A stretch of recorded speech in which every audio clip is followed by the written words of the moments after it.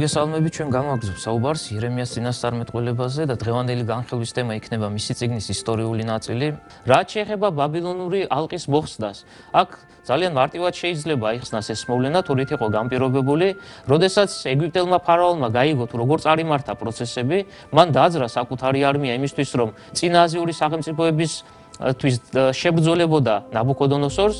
ნაბუქოდონოსორი გებულობს ამის თაობაზე, ბუნებრივია, მას ყველანაირი ინფორმაცია მოსდის, ის ძალიან დიდი ყურადღებით იმზირება ეგვიპტის მიმართულებით, რომ რაიმე სახით სურგის მხრიდან დარტმა ეგვიპტორმა არმიამ მას არ მიაყენოს და როდესაც მან გაიგო ეგვიპტელი ფარაონის გადაწყვეტილება წინააზიურ რეგიონებს დაეხმარო შეეძიოს, სწორედ ამით იყო განპირობებული ბაბილონელთა იერუსალიმზე განხორციელებული ალყის მოხსნა. ნაბუქოდონოსორმა დაიწყო საკუთარი არმიის, საკუთარი ჯარის გადაჯგუფება, გადალაგება, გადალაგება იმ იმ იზანდასახულობით, რომ საჭიროების შემთხვევაში ეგვიპტელებს დაპირისპირებოდა. თუმცა მოვლენები სხვაგვარად წარიმართა ეგვიპტელი ფარაონი ბოლომდე დაწყებულ საქმეს არ აგრძელებს, იგი საკუთარ ჯარს გზიდან შემოატრიალებს და კვლავ ეგვიპტეში დააბრუნებს და როგორც კი ბაბილონელები დაიგულვებენ მშვიდობას, რომ საფრთხე ეგვიპტიდან აღარ მომდინარეობს, ისინი დაწყებულ ალყას და დროებით მოხსნეს კვლავ განაგზომენ. საბოლოო ჯამში, ჩვენ ყველა დეტალს ახლა აღარ ვეხებით, დგება 586 წელი,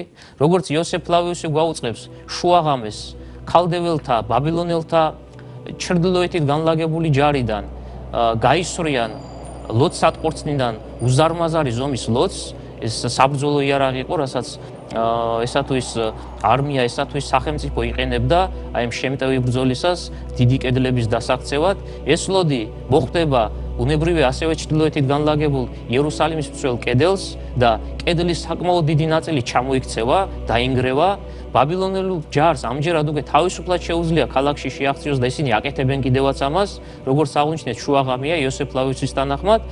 ეს არის ის პერიოდი, როდესაც არავინ მსგავსად მოვლენების განვითარებას არ ელოდა და აი ამ მოულოდნელობის ეფექტით სარგებლობენ რა ბაბილონელები, ისინი მარტივად დაეუფლებიან იერუსალიმს. რაც შეეხება უშუალოდ სედეკიას, ესე იგი ბოლო მეფეს ებრაელებისას, ის სამ დროს ჩვენ აღნიშნეთ რომ დედაქალაქში იმყოფება, მას მაშინვე გააფრთხილებენ მაღალჩინოსნები, აუწყებენ ამის თაობაზე, რომ დედაქალაქში ბაბილონური არმიაა შემოსული და მან თავს უნდა უშველოს, რაღაცა გააკეთოს, რომ ნაბუქოდონოსორმა ის არ დაატყვევოს. აქ უნდა შევნიშნოთ ისიც ალბათ, რომ თავად ნაბუქოდონოსორი იერუსალიმთან და მის შემოგარენში არ იმყოფება, იგი ამ დროს არის ქალაქ რიბლაში, ეს არის სირიის ერთ-ერთი ქალაქი და აქედან მართავს საომარ მოქმედებებს. რაც შეეხება სედეკიას, სედეკია ხედავს, რომ წინააღმდეგობის გაწევას აზრი არ აქვს, ამიტომაც მიიღებს გადაწყვეტილებას იერუსალიმი დატოვოს და გაექცეს მომხდურს, გაექცეს მტერს.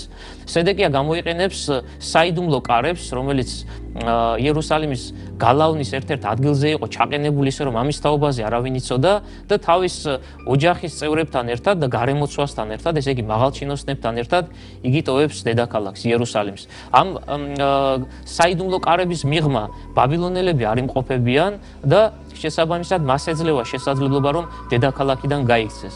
თუმცა ბაბილონური არმია ძალიან მალე გებულობს იმის თაობაზე რომ ებრაელმა მეფემ დატოვა ქალაქი, ესე იგი საიდუმლოდ შეძლო გაქცევა, გაპარვა, მაშინვე იქნება მიღებული გადაწყვეტილება დადევნებისა, მეფეს დაედევნებიან იერიქონის დაბლობზე მას შეიპყრობენ, გარემოცვიდან სულ რაღაც 10-ი ადამიანი შეძლებს თავის დაღწევას, დანარჩენებს ყველას დააპატიმრებენ და მათ, ესე იგი სედეკიას, მის ოჯახის ოჯახის წევრებს, მის გარემოცვას იუდეულ მაღალჩინოსნებს ჩაიყვანენ ქალაქ რიბლაში, რადგან ნაბუქოდონოსორი იქ არის.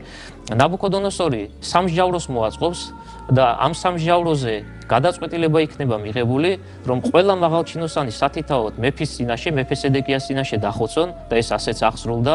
პირველი ნაწილი ამ გადაწყვეტილებისა, მეორე ნაწილი გადაწყვეტილებისა გახლავთ ის, რომ სედეკიას წინაშე, ესე იგი უდეველთა ბოლო მეფის წინაშე, თვალწინ დახოცავენ მის მეუღლეს, მის შვილებს, სედეკიას შვილებს და მესამე ნაწილი ნაბუქოდონოსორის მიერ გადაწყვეტილებისა ასეთი გახლავთ, უშუალოდ მეფე სედეკია სიკვდილით არ დაიშება, თუმცა გამოყენებული გახლავთ უმკაცრესი ფორმა დასჯისა, მას ამ მოთხრიან ორივე თვალს და დაბრმევებულ მეფეს სედეკიას გაუყენებენ გზას ბაბილონისკენ და იგი ტყვეობაში იმყოფებოდა ჩვენ ზუსტი მონაცემები რა დრო გაატარა მან აი ამ ძიმე ვითარებაში არა გვაქვს თუმცა საბოლოო ჯამში ის გარდაიცვლება კიდევაც გადასახლებაში.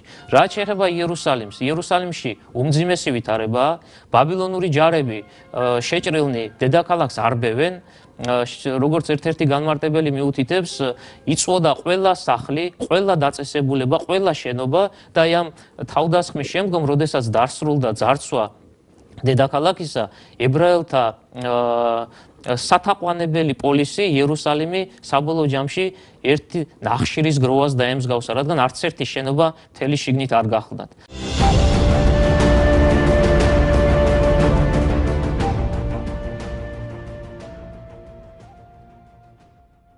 რაც შეეხება უშუალოდ ტაძართან და სამეფო სასახლესთან დაკავშირებულ ისტორიას, ნაბუქოდონოსორის ბრძანებით დედაქალაქში მოემართება ადამიანი, რომელსაც სახელად ნაბუზარდანი ჰქვია, ასე იგი მოხსენებული წმინდა წერილში, ის გახლავთ ნაბუქოდონოსორის დაცვის უფროსი, ასია წარმოდგენილი ასევე ტექსში მისი თანამდებობრივი მდგომარეობა.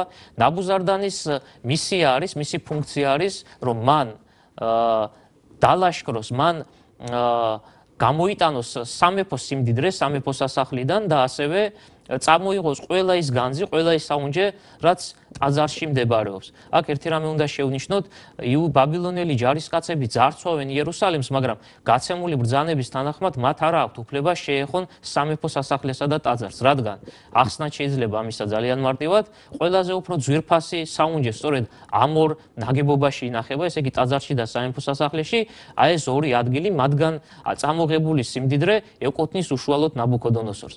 ნაბუზარდანი ჩამოდის იერუსალიმში გარდა ჩვენ მიერ ხსენებული მოვლენების, ესე იგი ტაძრის ტაძრისა და სამეფო სასახლის გაძარცვისა ის კიდევ ერთ განჩინებას აღასრულებს ნაბუქოდონოსორის განაუწყებს კერძოდ ამ განჩინების შინაარსი შემდეგი შემდეგშია. ნაბუზარდანმა უნდა მოიძიოს წინასწარმეტყველი იერემია და მას შეთავაზებები უნდა წამოუყენოს. ის აკეთებს კიდევაც ამას იერემიას, რომელიც იერუსალიმში იმყოფებოდა ამ პერიოდში დიდი გაჭირვების შედეგად აღმოაჩენენ და ნაბუზარდანი მასთან ურთიერთობაში შედის და ეუბნება, რომ იერემიას აქვს უფლება დარჩეს საკუთარ სამშობლოში, ეს არის უშუალოდ ნაბუქოდონოსორის წინადადება, თუმცა თუ კი იგი ინებებს, ესე იგი იერემია წინასწარმეტყველი ინებებს, შეუძლია წამოვიდეს ბაბილონში, დედაქალაქში და უშუალოდ მეფის სასახლეში, ნაბუქოდონოსორის სასახლეში იცხოვროს, მას არაფერი მოაკლდება. ახლა ერთ ერთი უცნაურობა ისაა, რომ ნაბუქოდონოსორსა და იერემიას არასოდეს ერთმანეთი უნახავთ. მათი გზები არასოდეს გადაკვეთილა წინასწარმეტყველს ქალდეველთა ძლევამოსილი მეფე პიროვნულად არ იცნობს. შესაბამისად ისმის კითხვა: თუ რატომ იჩენს ის ასეთ მზრუნველობას იერემიას მიმართ? ეს არის ერთადერთი ადამიანი იუდეის სამეფოში იერემიას გულისხმობ, ვიზეც მეფე ნაბუქოდონოსორმა იზრუნა მისი ბედიღბალით დაინტერესდა და მას კეთილი მისთვის კეთილი მომავლის მისთვის კეთილი მომავლის მინიჭების სურვილი გაუჩნდა. მიზეზი ამისა გახლავთ, როგორც ამას განმარტებლები მიუთითებენ, იერემიას მრავალი წინასწარმეტყველება, რასაც ის აქამდე წარმოთქვამდა და ამ წინასწარმეტყველების შინაარსს კვლავაც შევახსენებ ჩვენს ტელემაყურებელს, იერემიას სახელდებით მოიხსენიებდა ნაბუქოდონოსორს და ამბობდა, რომ ის არის ძლევამოსილი მეუფე, ღვთისაგან დადგენილი ხელმწიფე და საფრთხო განგებულებით მთელი იმდროინდელი სახელმწიფოს მართლობა, იმდროინდელი სოფლიოს უდიდესი ნაწილის მართლობას სწორედ ნაბუქოდონოსორი აიღებდა საკუთარ ხელში. აი ეს ინფორმაცია ნაბუქოდონოსორმა მოისმინა გადასახლებაში მყოფი ებრაელებისაგან. ასია განმარტებული ყოველ შემთხვევაში ეს ვითარება და როდესაც დაიპყრო იერუსალიმი, გაუჩნდა სურვილი, რომ მის შესახებ წინასწარმეტყველების გამომთქმელი იერემია, დადებითი წინასწარმეტყველების გამომთქმელი იერემია, როგორმე საპირისპიროდ ესე იგი დაეჯილდოებინა და მზრუნველობა მის დამი გამოეჩინა. იერემია ღებულობს გადაწყვეტილებას, რომ დარჩეს საკუთარ სამშობლოში, ბაბილონელთა გარ შემოსრულ მიწასთან გასწორებულ სამშობლოში და მას ამის უფლებას დართავენ.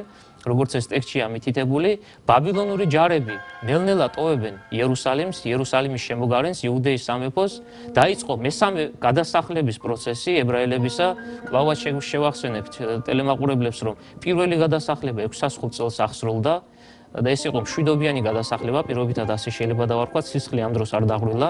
მეორე გადასახლება 597 წელს უკავშირდება, ჩვენ ვახსენეთ ჩვენი გადაცემის დასაწყის ნაწილში, რომ ამ დროს 10000 ებრაელი გადაასახლა ნაბუქოდონოსორმა. ესეც პირობითად მშვიდობით, მშვიდობიან გადასახლება შეიძლება მოიხსენიოთ, რადგან არც ამ დროს დაღვრილა იუდეველთა სისხლი და მესამე გადასახლება მოცემულ ვითარებაში 586 წელს უკავშირდება, თუმცა ეს გადასახლება პარალელურად უმძიმეს ვითარებასთან არის კავშირში, რადგან იუდეველთა ძალიან ბევრი ძალიან დიდი რაოდენობა ებრაელებისა უშუალოდ מחვილით, ცეცხლითა და შავი ჭირით იქნა შემოსრილი, როგორც ეს იერემიას წინასწარმეტყველებაში არაერთგზის იყო წინდაცინ გაჟღერებული. ჩვენ აღვნიშნებთ, რომ იერემიამ აირჩია დარჩენილიყო სამშობლოში და მისი სურვილი გასაგებიცაა ის ამ შემთხვევაში ზრუნავს იმ ხალხზე, რომლებიც რჩებიან იუდიაში ნაბუქოდონოსორს 586 წლის გადასახლებისას, ყველა არ წაუყვანია აქ უნდა შევნიშნოთ, რომ მან ყველაზე დაბალი სოციალური კლასი ებრაელებისა დატოვა სამშობლოში და როგორც ამას განმარტებლები მიუთითებენ, ეს იყო შეგნებული გადაწყვეტილება, მას აქვს მიღებული განში, მას აქვს სურვილი დალაშქროს ეგვიპტე, ამიტომაც დაუსახლებელი იუდია, გაუკაცრიელებული იუდია არაფერში აწყობს, რადგან საომარი მოქმედების განახლებისას სჭირდება ერთგვარი პლაცდარმი შეიძლება ეს ტერმინი გამოვიყენოთ იმისთვის რომ აი აქედან საომარი მოქმედებები ეგვიპტის მიმართულებით აწარმოოს. აი ამ მიზანდასახულობით, ესე იგი საკუთარი ჯარის ესე მომავალში განსახორციელებელი საომარი მოქმედებისას საკუთარი ჯარის მსახურებად ისტოვებს ებრაელთა ნაწილს, დაბალ სოციალურ კლასს, დაბალ სოციალურ ფენას და დანარჩენ ებრაელებს ყოველას უკლებლივ ბაბილონის იმპერიის სხვადასხვა კუთხეში გადაასახლებს. აი იერემია სწორედ რჩება იმ მიზანდასახულობით, რომ სამშობლოში დარჩენილი ებრაელები როგორმე ანუგეშოს ამ უმძიმეს ვითარებაში მყოფი ეს უმძიმეს ვითარებაში მყოფი ადამიანები და იწება მისი მოღვაწეობის ახალი ეტაპი, ასე შეგვიძლია ამას დავარქვათ. თუმცა, ვინაიდან აი შემდგომი პროცესი თუ როგორ განვითარდა მოვლენები საკმაოდ ვრცელი განხილვის თემა, ჩვენს დღევანდელ გადაცემას ამაზე შევწყვეთ, ამაზე შევაჩერებთ და აი აღნიშნულის თაობაზე, შემდგომი მოვლენების თაობაზე შემდგომ გადაცემაში გვექნება საუბარი.